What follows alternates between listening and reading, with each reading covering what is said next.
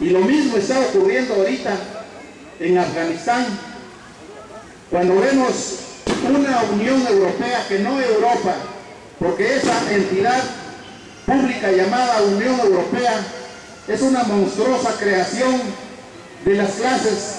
privilegiadas, de las clases gobernantes de los países europeos más importantes como Francia, Alemania y España.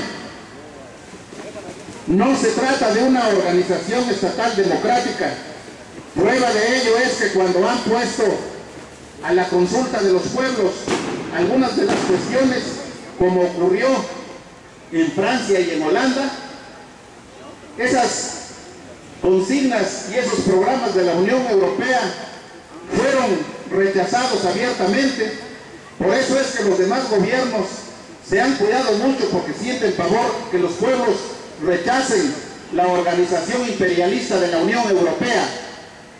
Ese conjunto de gobiernos despóticos y autoritarios, absolutistas, que no han abandonado las consignas y, el autoritarismo propio de las naciones incivilizadas. Ese conjunto de gobiernos que ignora los requerimientos de justicia de sus propios pueblos, porque es un mito que en Europa prevalezca la justicia prevalezcan los niveles más altos de la vida de los pueblos. Son solamente las clases altas, las clases que tienen el control de los aparatos de gobierno, los grandes grupos enriquecidos con la riqueza y el esfuerzo de los trabajadores, los únicos que han vivido y que viven bajo un régimen de desperdicio y de derroche. Pero no ocurre eso con las clases trabajadoras, ni siquiera con las clases medias. Por eso es que es un mito el modelo de Europa, esa llamada Europa occidental o Europa cristiana, que nada tenemos nosotros que aprender de estos buitres. Y esos son los modelos que siguen aquí los sátrapas, los tiranos que tienen el control del aparato de gobierno en México y en los estados del país. Para ellos se sirven de esas instituciones y estructuras caducas como el Senado de la República, conjunto de pillos que integran un grupo de nobles que viven, en la holgazanería, que viven en el derroche, con sueldos que ofenden la dignidad de los pueblos y de la miseria de las grandes masas de población, como también así ocurre con esos grandes cresos potentados, con esos sujetos que desperdician nuestra riqueza como son los ministros de la llamada Suprema Corte y los consejeros de la Judicatura, esos gobernadores con sus séquitos, con sus incondicionales y secuaces que ocupan los más altos cargos de los gobiernos de los estados, como son sus secretarios de finanzas, sus tesoreros, sus directores para esto y para aquello, sus procuradores de justicia. Todo esto, señores, es un derroche que ofende gravemente a los mexicanos. Por eso es que nosotros los mexicanos, pueblo de México, pueblos de Oaxaca, tendremos que organizarnos y ya no depender, ya no seguir ese sistema mentiroso y caduco de partidos políticos que no son lo que dice la teoría, que no son lo que dicen los principios que ellos mismos establecieron, sino que son meros grupos de incondicionales y de bribones que se están enriqueciendo a costa del esfuerzo y del trabajo del pueblo. Por eso es que este grupo de mexicanos patriotas que estamos aquí, estamos denunciando una vez más las pillerías de estas bandas de delincuentes que azotan, que asuelan a los mexicanos. Tienen puestísimas las manos se las frotan estos pandilleros llamados diputados federales, junto con sus instigadores, los senadores, y todo ese aparato parasitario que forma parte del equipo gobernante del presidente de la República. ¿Cómo es posible que estas gentes, por un lado, reconozcan que hay una crisis económica en México? Es una crisis que ellos mismos crearon, y que de una manera torpe dicen que es una crisis que nos las impusieron del exterior. Lo cierto es que este, estos pillos están en contubernio. Son las mismas gentes que en el exterior, en los demás países, como Estados Unidos, como los británicos, han creado esta situación de una manera artificial para seguir extrayendo nuestros recursos. De todas maneras, se llevan nuestros recursos naturales, el oro, la plata, los dólares,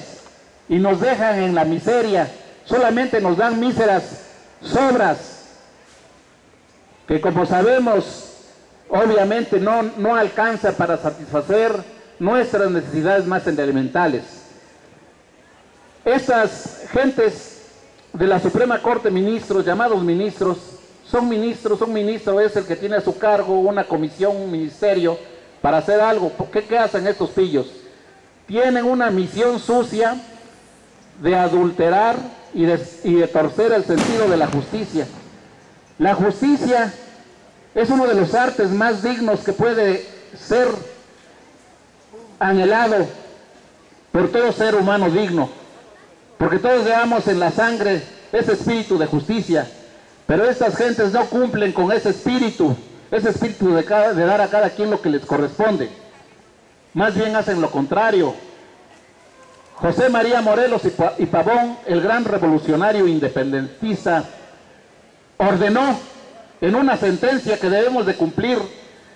de que el poder público está destinado a moderar la opulencia, la riqueza de los pocos y a aminorar la pobreza de los muchos. Por eso es que nosotros tenemos que ser consecuentes, tenemos que ser consecuentes con estos principios, con José María Morelos y Pavón, y tenemos que luchar, el gobierno para eso sirve, no puede ser, de otra manera no es gobierno. Todo aparato estatal tiene que ser destinado a moderar la riqueza de los pobres, a moderar la riqueza de los pocos en detrimento de los pobres. Por eso es que los sueldos altísimos de que gozan todos los altos funcionarios públicos, desde los ministros de la Suprema Corte, los consejeros de la Judicatura, los altos mandos de las Fuerzas Armadas, sea la Marina, sea el Ejército. Todas estas personas son no más que parásitos y si por una parte dicen que el Estado está ayuno, que está muy estrecho en recursos económicos, no es posible que nos estén engañando, que tengamos miles de burócratas gozando de sueldos altísimos, que de esa manera se convierten en meros hipócritas y, parásitos. Que se largue la mitad de diputados, cuando menos, y que quede solamente el resto o una tercera parte, con esos bastan, que están sangrando la economía de los mexicanos. Que se larguen los senadores, no los necesitamos, es un cuerpo de inútiles. Que desaparezca la Suprema Corte y que todos esos presupuestos se designen,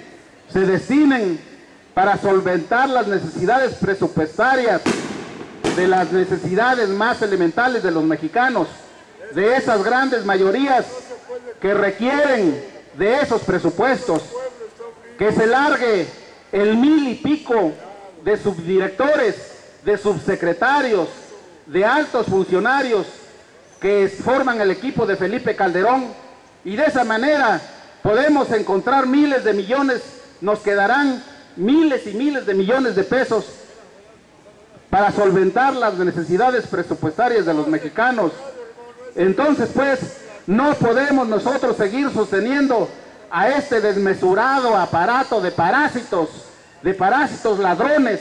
que ese dinero del gobierno sea destinado y devuelto al pueblo porque es del pueblo. Y este aumento de impuestos no es cierto que solamente sea porque ellos están ayunos, ellos lo necesitan